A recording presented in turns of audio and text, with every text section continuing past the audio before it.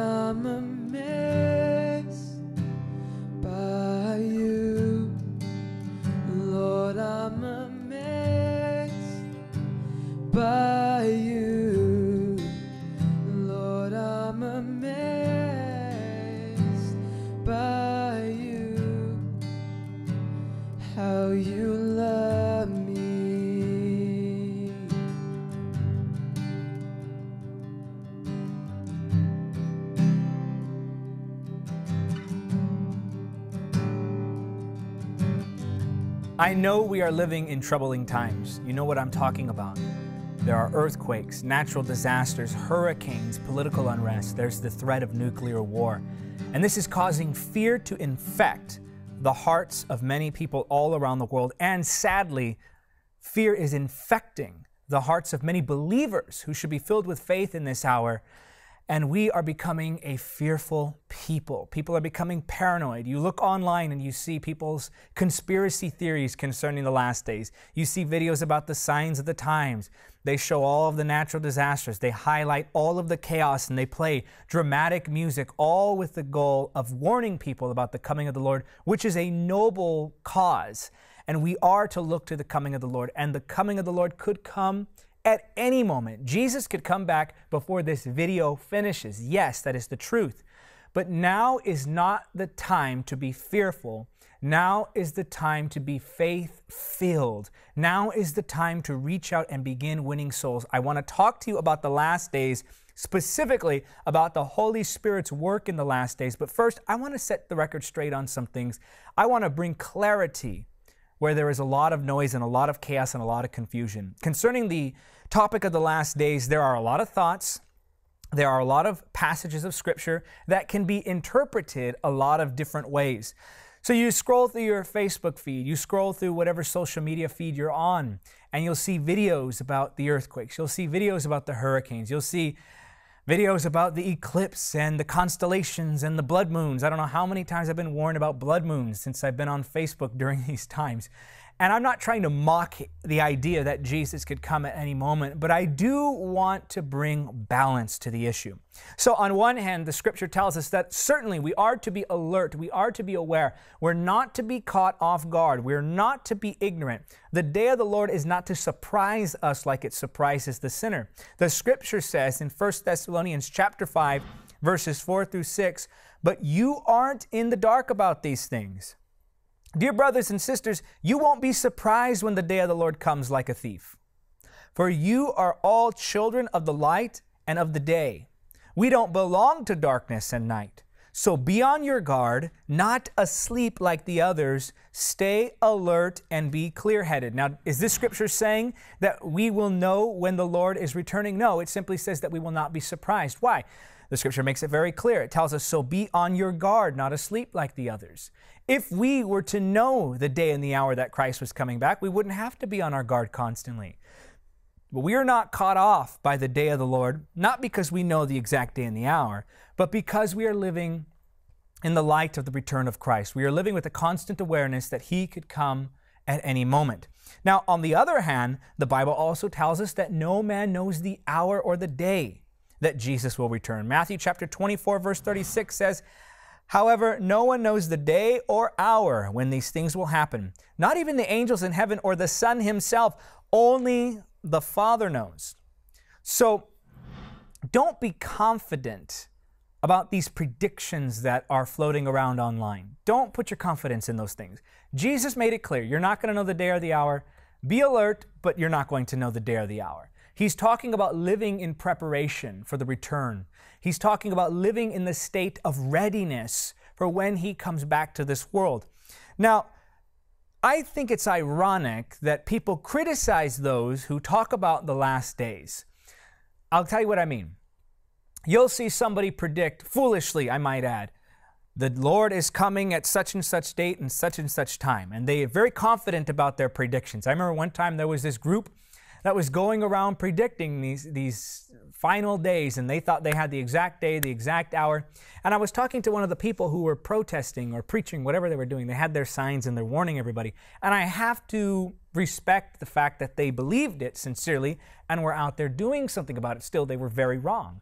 And so I went to them and I said, if you really believe this, why don't you sell your houses, use the money to spread the message? They didn't do that. But what I find ironic is the people who criticize those who predict such dates. Now, I do criticize them in the fact that they're not supposed to be predicting uh, by the date when the Lord is returning. No man knows the hour. What I do find interesting is that people are so confident that the Lord is not coming back on that day. So I don't think we can have confidence either way, whether or not the Lord is coming on any certain day.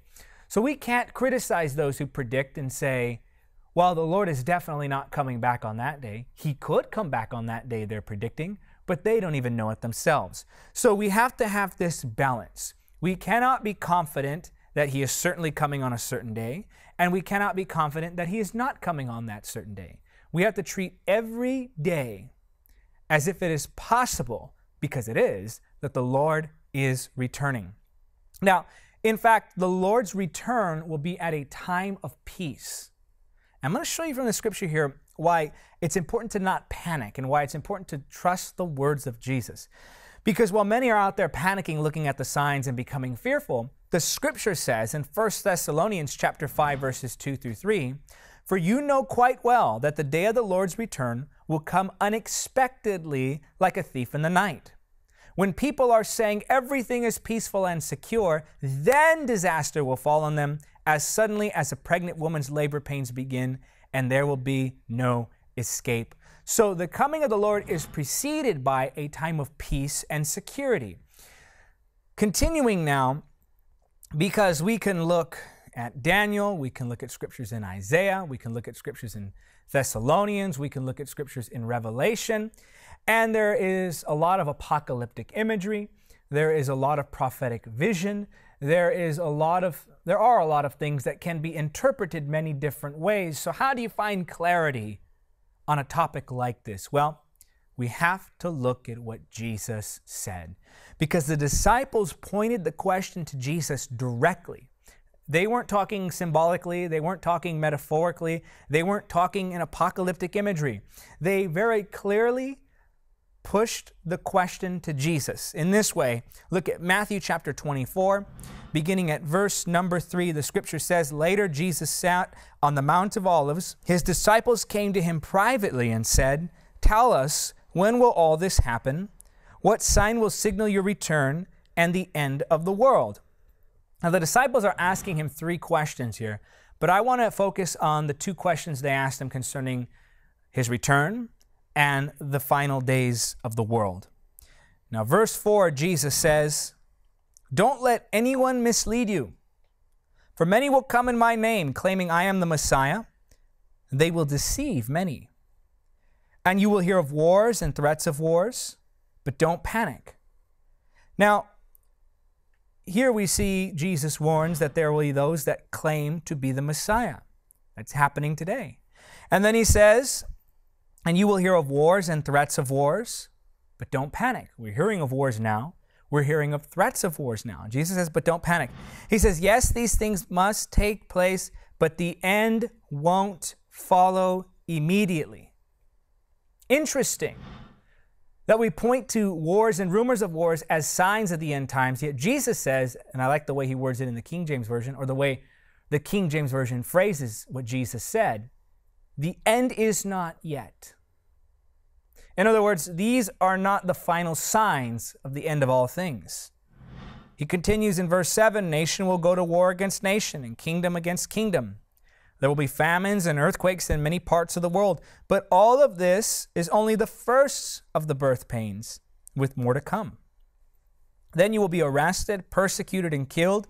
You will be hated all over the world because you are my followers. So, this is worldwide persecution, not persecution in parts of the world, but actual persecution in several parts of the world. And many will turn from me and betray and hate each other. And many false prophets will appear and will deceive many people. Sin will be rampant everywhere, and the love of many will grow cold. But the one who endures to the end will be saved. And this is the key portion of the scripture. And the good news of the kingdom will be preached throughout the whole world so that all nations will hear it, and then the end will come. Now, Jesus goes on to talk about in verse 15 the day is coming when you will see what Daniel the prophet spoke about the sacrilegious object that causes desecration standing in the holy place. Reader, pay attention. Now, I believe what he's talking about here is the coming of the Antichrist who desecrates the temple. Verse 16 Then those in Judea must flee to the hills. A person out on the deck of a roof must not go down into the house to pack. A person out in the field must not return even to get a coat. How terrible it will be for pregnant women and for nursing mothers in those days. And pray that your flight will not be in winter or on the Sabbath, for there will be greater anguish than at any time since the world began, and it will never be so great again. In fact, unless that time of calamity is shortened, not a single person will survive, but it will be shortened for the sake of God's chosen ones. So it's talking about a time of great calamity. Now, there are some who believe that these words of Jesus were fulfilled in 70 AD, but I'm going to show you in the scripture why these words have not been fulfilled yet. Jesus continues, Then if anyone tells you, Look, here is the Messiah, or there he is, don't believe it. For false messiahs and false prophets will rise up and perform great signs and wonders as to deceive, if possible, even God's chosen ones. See, I have warned you about this ahead of time. So if someone tells you, Look, the Messiah is out in the desert, don't bother to go and look. Or look, he is hiding here, don't believe it. For as the lightning flashes in the east and shines to the west, so it will be when the Son of Man comes. Now, has that happened yet? No. Continuing in verse 28, just as the gathering of vultures shows there is a carcass nearby, so these signs indicate that the end is near. Verse 29, immediately after the anguish of those days, the sun will be darkened, the moon will give no light, the stars will fall from the sky, and the powers in the heavens will be shaken. Has this happened yet? No. Verse 30, and then at last, the sign that the Son of Man is coming will appear in the heavens, and there will be deep mourning among all the peoples of the earth, and they will see the Son of Man coming on the clouds of heaven with power and great glory. Has that happened yet? No. So Jesus is talking future tense. Now, in verse, let's let's continue to go down here. I'm going to show you just one more verse. Verse 34, he says, I tell you the truth, this generation will not pass from the scene until all these things take place. So the generation that sees these signs coming, that's the generation that will see the coming of the Lord. So worldwide persecution of the church, it talks about the signs in the sky. There are so many things here, but ultimately, the ultimate sign is his coming on the clouds. Now, if that generation is not the generation that sees the coming of the Son of God on the clouds, then it's not the generation he's talking about here. So again, we're back to square one, which is the truth that Jesus could come today, he could come tomorrow. No man knows the hour, but he is coming. So for all the predictions that people try to make, we have to funnel it back through Matthew 24. Why? Because we take the unclear portions of Scripture and come to understand them by the clear portions of Scripture. So, this is what was so powerful to me. And now I want to talk about the work of the Holy Spirit. This is what was so powerful to me. So, from this scripture, we know that there is coming a time when Jesus will come back.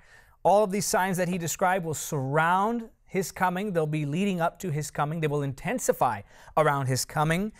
But here's what really interested me is verse number 6 where he says, "But the end won't follow immediately." So don't panic just because you see certain signs. Every every so often we go through seasons and cycles where hurricanes and earthquakes are prevalent. And there are things politically going on that seem to align with many of the interpretations that we see about Revelation or Daniel or Isaiah and so forth. But we have to remain at peace and we have to discern, not by what we see, but what we see in Scripture. And so, yes, the filter of our reality is the Scripture, and we have to look and see what the Scripture clearly teaches on these issues. So don't panic but also don't be apathetic. Just be alert, just be vigilant. But what's interesting to me is verse 6, like I said, he said, the end won't follow immediately. And then in verse number 14, this is what is so powerful. He says, and the good news about the kingdom will be preached throughout the whole world so that all nations will hear it, and then the end will come. The sign of his coming, the primary marker of his return, is not the chaos of the world, it's the commission of the church. What does this tell me? God is in control. It is not the war, it's not the rumors of wars, the natural disasters, the political unrest, the economic instability, the signs in the sky. These are not the primary signs of his return.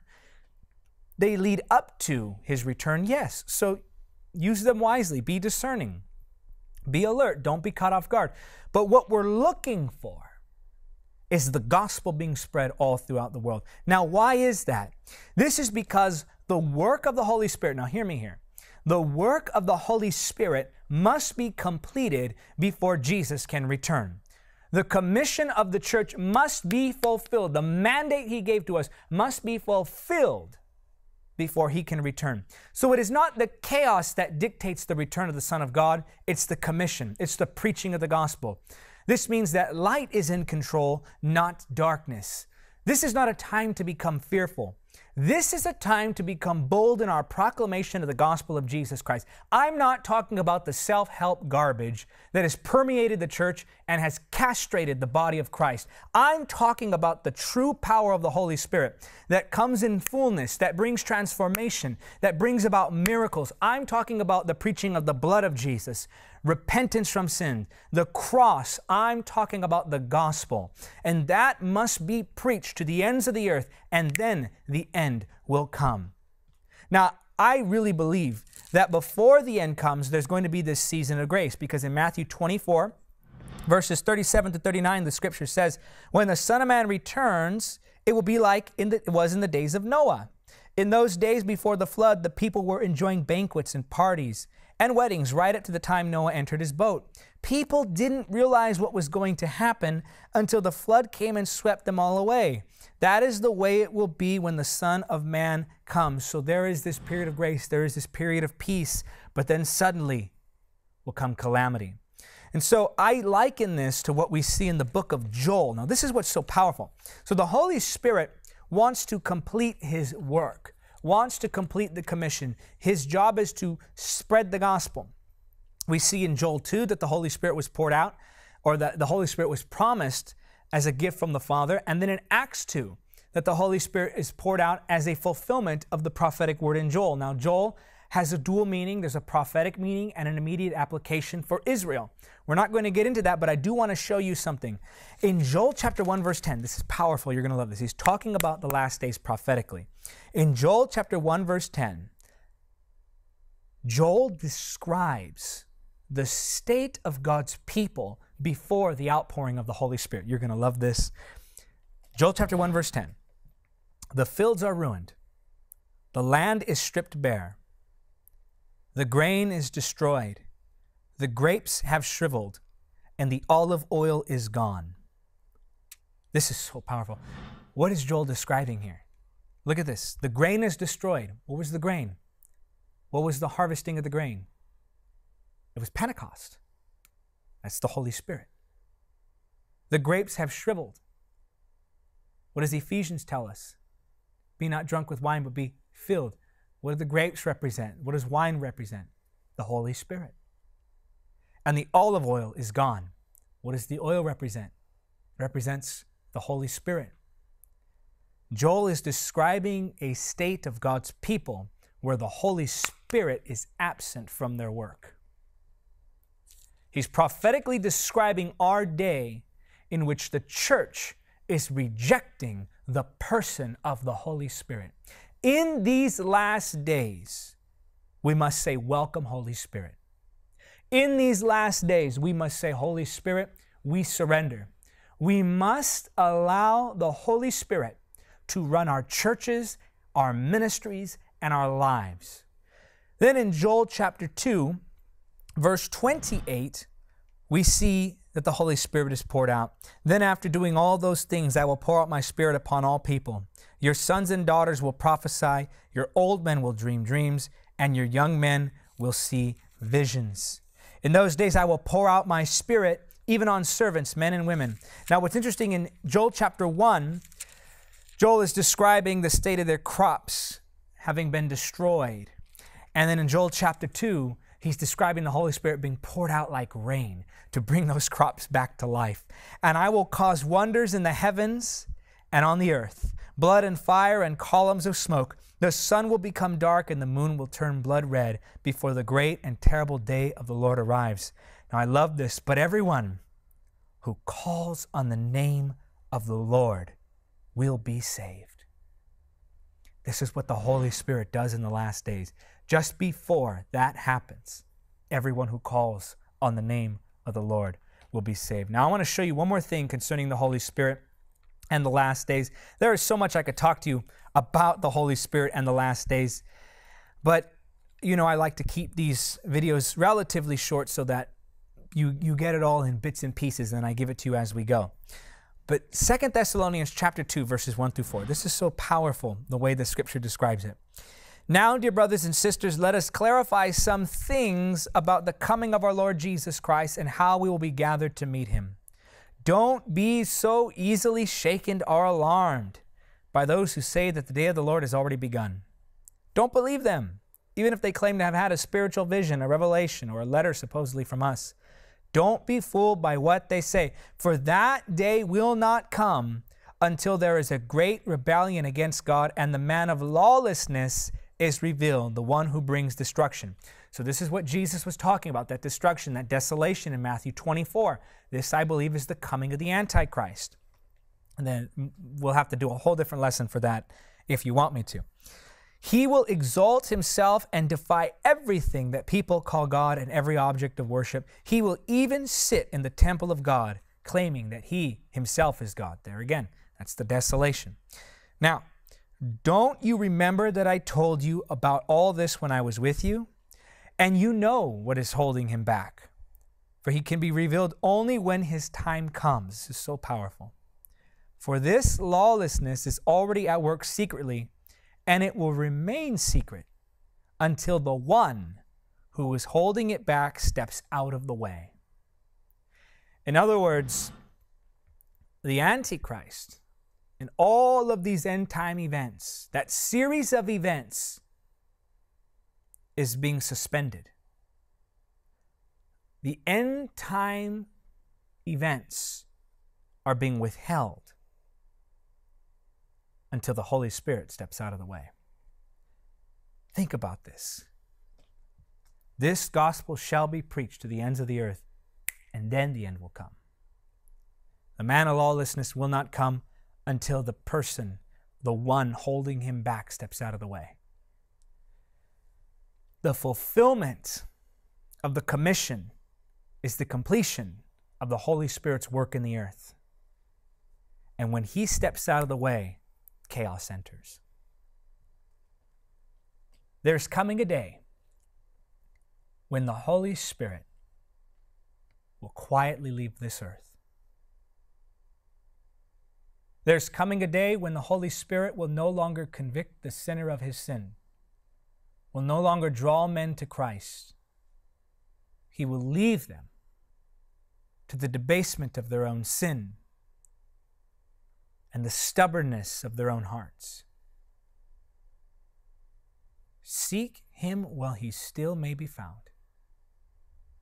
When the Holy Spirit leaves, chaos enters. When the Holy Spirit moves out of the way, the man of lawlessness comes, chaos comes, the end time events come into full effect. But by this time, the return of the Lord has already happened. Imagine the day when the conscience of mankind is no longer convicted by the Holy Spirit. That day is coming. But for now, we have grace. For now, in this window of opportunity, look, I don't know when the Lord is returning. Neither do you. And neither does anybody on YouTube or on Facebook or anybody who claims any of that knowledge. You have to believe Jesus over everyone else. And ask yourself why you believe such things when they make predictions. It's because you're afraid that they might be right, based in fear. That's what their doctrines are based in. This is based in truth, the Word of God. Now, I don't know if these are the last days, but I know that today is somebody's last day. And that is enough for me to preach the gospel with urgency. The work of the Holy Spirit in the last days is a beautiful outpouring. There is going to be a sweeping in of souls on a mass scale, such as history has never seen. And then the end will come. So don't be afraid. Don't be worried. You believe in God. You believe in Jesus. Let their perfect love cast out all fear. Don't be afraid. The Holy Spirit is at work in these last days. Well, I want to pray with you now that God would strengthen you in these times. Father, in Jesus' name, I pray for that one watching, that one receiving this prayer. And I ask, Lord, that you would strengthen us, that you would cast out all fear. Thank you for bringing clarity to this issue, Lord. And thank you for anointing us for these last days. The peace of God, the kingdom of God is righteousness, peace, and joy in the Holy Ghost. Receive his peace today. Receive peace in your heart. Everything is under his authority. Well, that'll do it for the lesson now. I want to welcome now the new members of Spirit Church. There you are up on the screen. And if you'd like to find out how you can join the Spirit family, then go ahead and use the information at the bottom of the screen. Join today, it's free. You receive a weekly teaching, you get email prayer support. Do that today. I want to read now the comments. These are the comments from last week's lesson, which was seven trials of the called on and the, the test of blessings. Now, I'm going to return to this series eventually. I may do one more lesson on the end times and then return to the seven trials of the called teaching, or I may return to the seven trials of the called teaching next week. It's however the Lord leads me. Bodybuilding for Christ writes, Amen. I gave up my job and followed God's purpose for my life, not knowing that God had to pull out everything that was planted.